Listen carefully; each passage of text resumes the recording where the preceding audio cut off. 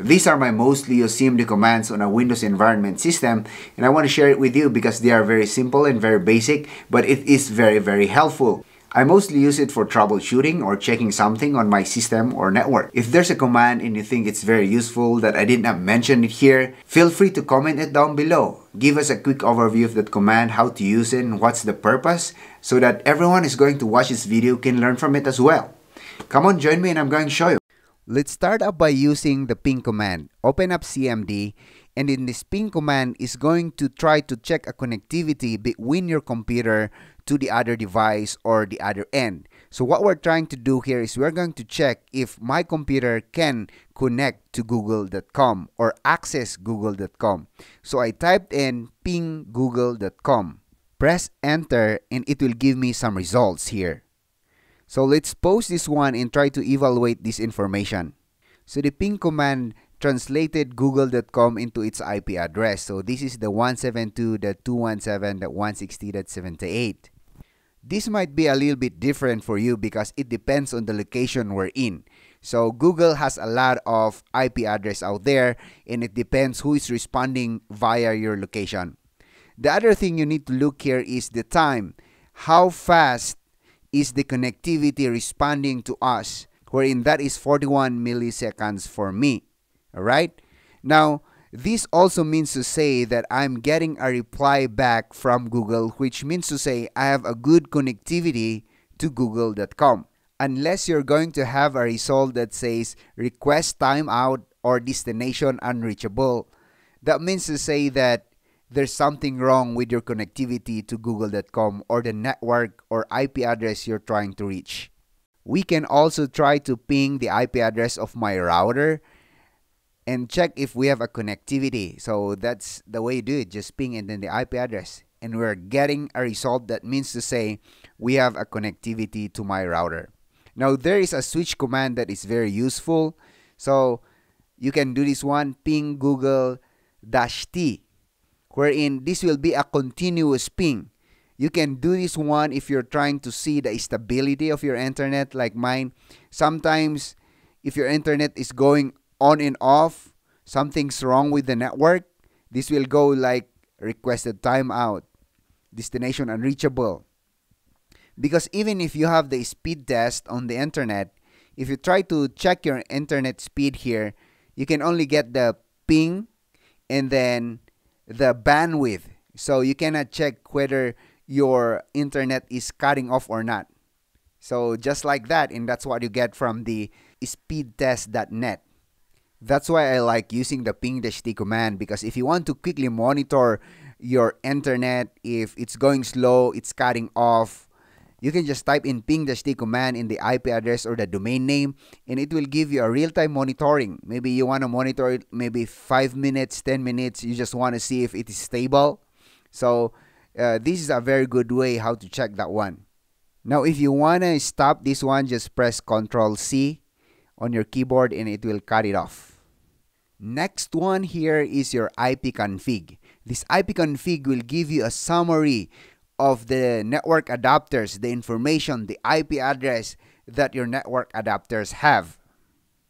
Press enter and these are the list of your network adapter on your computer. For me, this is my laptop. So um, loopback adapter, I have a lot of um, virtual network adapters here uh, you can see that one VMnet 1, VMnet 0, VMnet 8. Okay, so they have their own IP address, but those are virtual.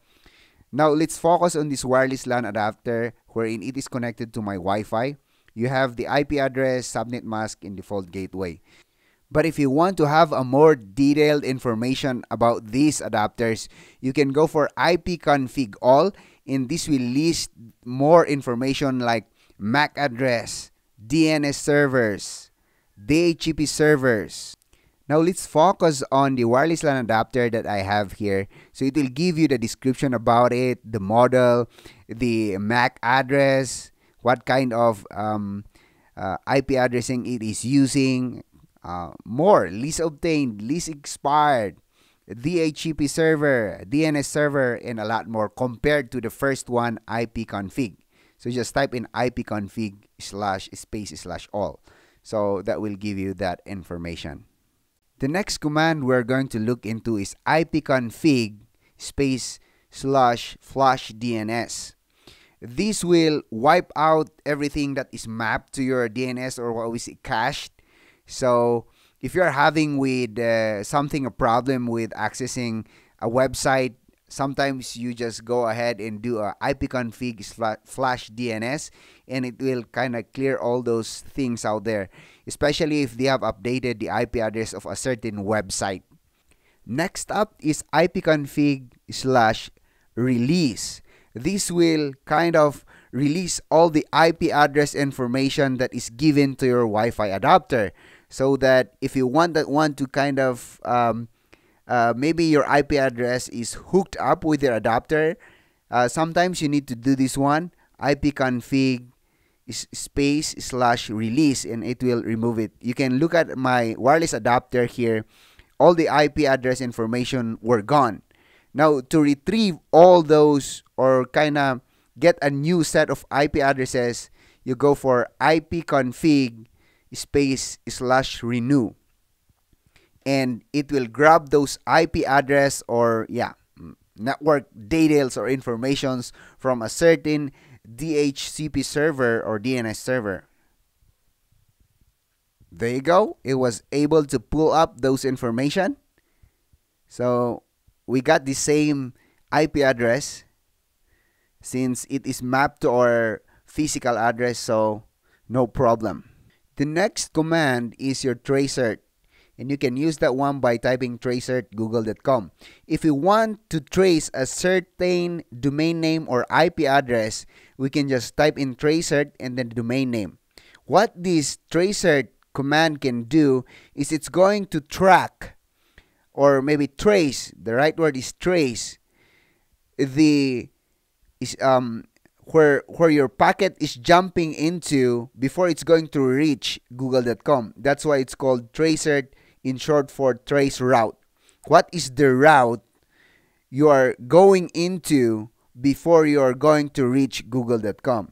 So you can see in the number one, that's my router. And after my router, that is already outside my router. The couple IP addresses that you can see there is my ISP. And after that ISP are some IP address out there that routers are using so that they can go to google.com. Now we are on the 10th hop. So it's taking time. You can also see the response times there. It's 40, 41, 42 milliseconds. And in the 12th, same. And in the 13th, I think this is Google. Yeah, we reach google.com trace complete. So that's how much or how many routers you need to jump into before you can reach google. Let's try in facebook so that we can compare. Okay? First is a bit the same. That's my router that 180.10 and the same 254.61.24 okay? We have my ISP and then another ISP those are ISP routers. Okay? Another ISP so there are actually three here compared to Google. We have only two. So it's going another path. And you can see the IP address that's 31 to 13 that's 77 to 35 so that's the eighth and we have the ninth. And then we have the 10th oh we reach google i mean facebook. So we only have need 10 hops before we reach facebook. So at least you can see how it's going to process this information before it's going to reach a certain domain name. The next command is ns lookup you can just type in nslookup and put in the IP address.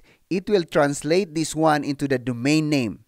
So sometimes it's not usable if you use the Facebook to the IP address, but you can use this one reverse. So if you put in the IP address, then it will give you who owns this one, who reg- who registered this IP address. So you can see nslookup nslookup.facebook.com and it will give me the IP address or the other way around nslookup the IP address and it will give me facebook.com.